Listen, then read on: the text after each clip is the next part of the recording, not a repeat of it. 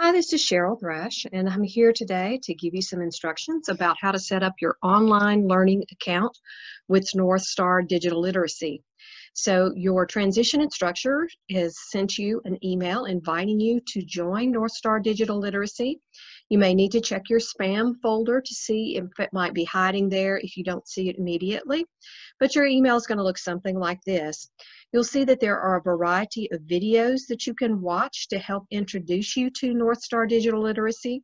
But for right now, we are going to uh, follow the link here to accept the invitation to set up an account. When you click on that link, it's going to say your learner membership is activated and it's going to ask you to set up a password.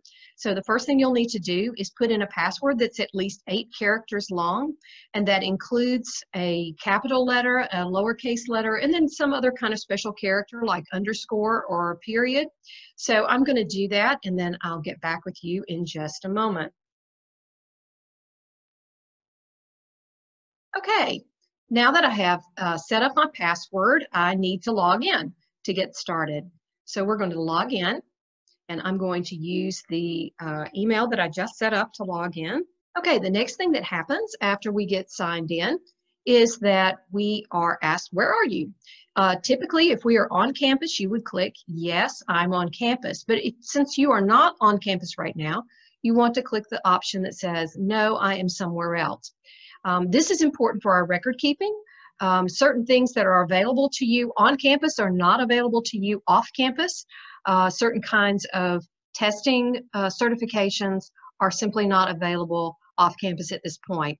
So you'll see at the top of your page, it says that we are on your dashboard, and this is your sort of uh, home base for all of your North Star online learning uh, when you're assigned into your account. The first step in proceeding with North Star is to take a digital literacy assessment test. And we're going to start with basic computer skills. You can see that this screen tells me that I have not completed an assessment yet, and so I don't have any records to access yet.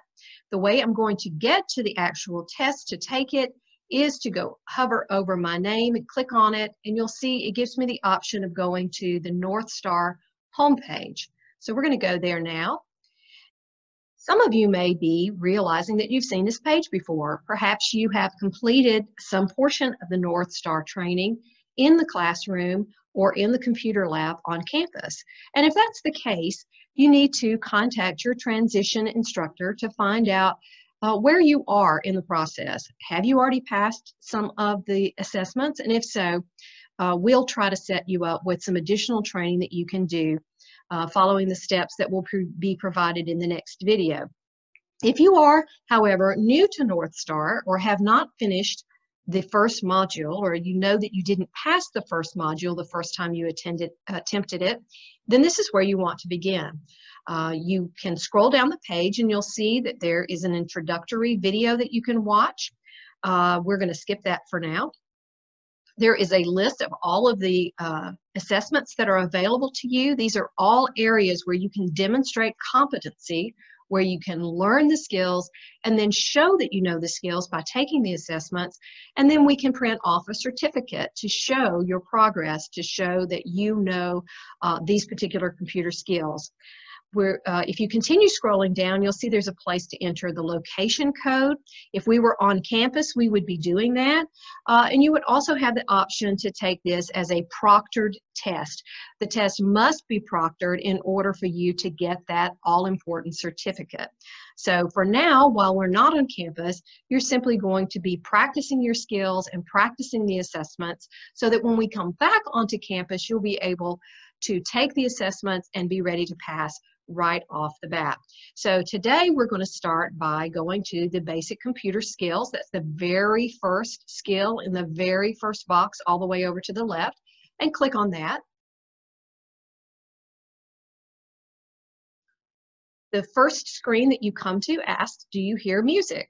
Well, we don't hear anything yet, so I'm going to click play. All right, I can hear the music through my computer speakers. You need to make sure that you can hear the music before you proceed, either by attaching earbuds or headphones or through your computer screen, uh, unmuting the computer screen if you need to. uh, in order to hear the music because some of the questions that you're going to come across are going to be audio questions. So you need to be able to hear before you proceed. Um, if you need trouble, help troubleshooting that, let us know and we'll see what we can do. Uh, if you can hear the music, however, go ahead and click on Next. Let's take a minute to look at how this assessment works. Okay, so the first thing that you're going to encounter is a quick video that describes how the test works. We're going to skip that for now, but I highly encourage you to watch that. Otherwise, you might have some difficulty navigating the assessment. All right, once you've watched the video, you'll come to the actual test. You'll see that it's going to be 38 questions long. And I'm just going to begin to pretend to start so that you can see how this works a little bit. Click on the desktop computer. Okay, as you can tell, one of these questions is an audio question, so you need to know uh, what the desktop computer is. You need to be able to hear the question in order to answer it. Uh, but I just wanted to show you the, um, the tools that you have available to you so that you would know how to navigate the test. The first one is this one. If you wanted to hear that audio over again, you can click on this button to hear it over again. Click on the desktop computer. Also, if you are working through the test and you realize as you get further down to question number 10 or whatever, and you realize, oh my goodness, by answering that question, I realized I answered a previous question incorrectly you can bring up a list of all the questions by simply clicking on this menu icon here. So you can move back and forth within the test uh, until you get to the very, very end. Okay? It's actually telling me that I can't go forward yet. So I'm going to pause here for just a minute and work my way through the test, and then I'll catch up with you in just a moment. Okay, when you get to the end of the assessment, you'll see the question will ask, are you finished? Um, and you'll notice that it gives you a list of any unanswered questions because for the purposes of demonstration, I clicked through a lot of these uh, questions with an I don't know answer just to get to the end for this demonstration. Uh, I have a lot of questions that are unanswered. So you may want to go back and revisit those simply by clicking on them to see if you can remember how to answer those questions. Do try your best on the exam uh, so that you won't be unnecessarily working on practice material that uh, or on things that you already know. Um, but I'm going to click on Submit Answers now. And you'll see that because I skipped so many questions, I didn't do so great. Um, so I only passed 55.6% of the questions correctly. In order to pass the assessment, you need to get 85% or better of the questions correct. You'll see that there is a list of all the questions that I answered correctly, and then there's a list of the questions that I answered incorrectly. Uh, if I had passed the exam, there would be more options over here other than just to print the results. Uh, if you want to print the results, feel free to do so. I'm not going to do that now. So um, this is our results page you'll see that there are still some other tabs that are open.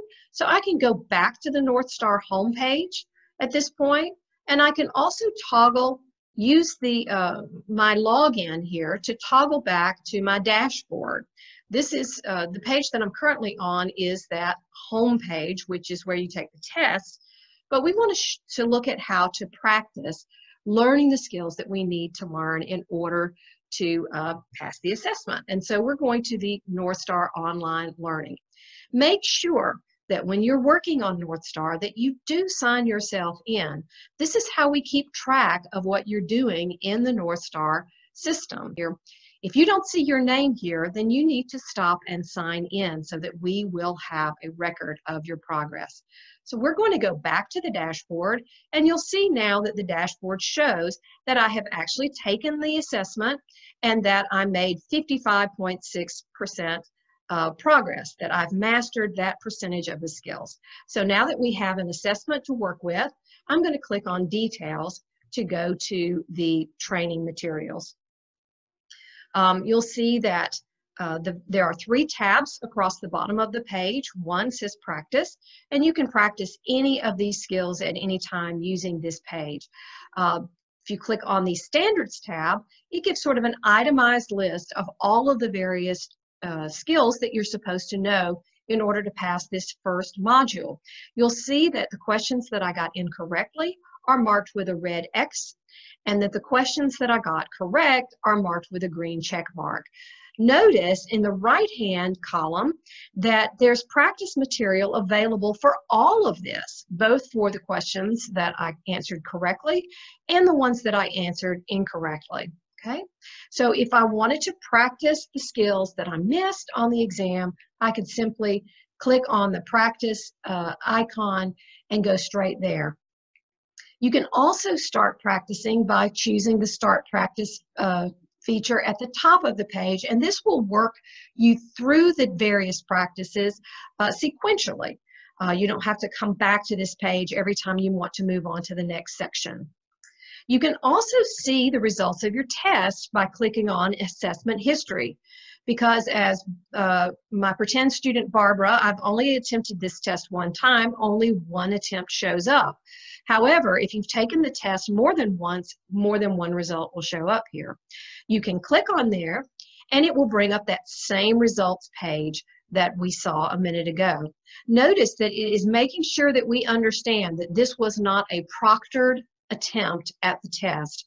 What that means is that you didn't take the test on campus being observed by a proctor and therefore your results are not eligible to be considered for a, um, a certificate. Okay, so I'm going to go back uh, to the online learning tab that's still open here to show you how the practice works really quickly. Okay, so I'm going to I'm going to go to the start practice button this time. So I'm going to click on that. It's going to start me off with the, the skills that I need to know, your basic computer skills, getting started. Okay, so you'll see. You are probably sitting in front of a computer right now.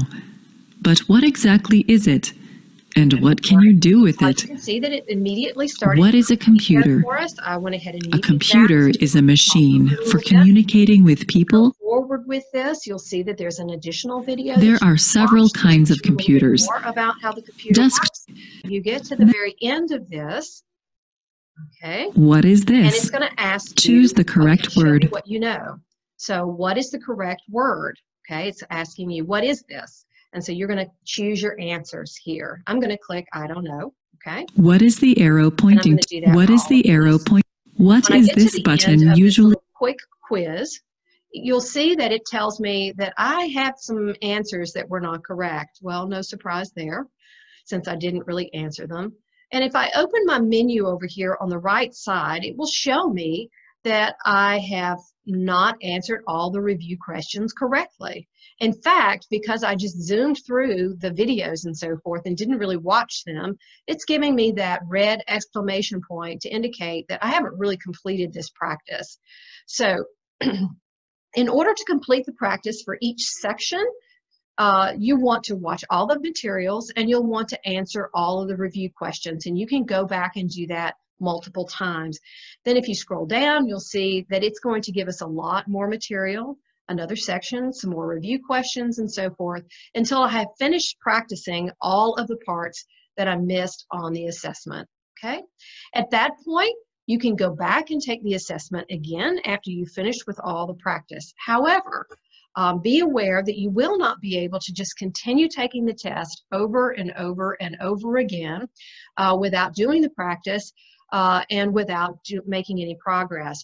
First of all, it's only going to let you take the test once or maybe twice per day. Uh, North Star says you're able to take it twice a day, but every time I've tried to go back and take it a second time within a 24 hour period, it's always told me, oh, you've already taken the assessment, you can't do it again. So that may be what you run into. You may have to finish the practice on one day and then sign in again and try the test again the next day. All right, so let's go back to our dashboard really quickly. And I want to go all the way back to the dashboard, not just to the basic computer skills one. And you'll see that there are modules uh, for each one of the assessments. Uh, the The bad news is that there is no practice materials available for the internet, the email, etc. The only practice materials that are automatically linked to your dashboard are the ones associated with the basic computer skills. So if you have already passed the basic computer skills test, um, then you will need to go on to the next video to find out how you can be working on your computer skills during this uh, COVID-19 time uh, and being ready to take the assessments when you get back on campus.